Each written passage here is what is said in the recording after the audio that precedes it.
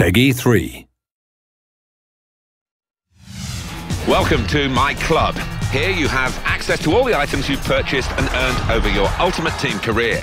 Within My Club, you'll notice all your items are organised into different piles by category. Highlighting a category will show you how many items of that type you've earned. It's not just about the players, you can also view and select which kits, badges, stadiums and balls you've earned. When viewing these items, you can choose to make them active. This is done by using the options menu and selecting Make Active. This item will then be the default selection for your team during matches.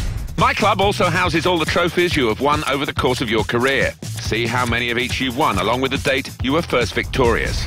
Now, go on and get competing in some tournaments so you can increase the size of your club and become the ultimate team.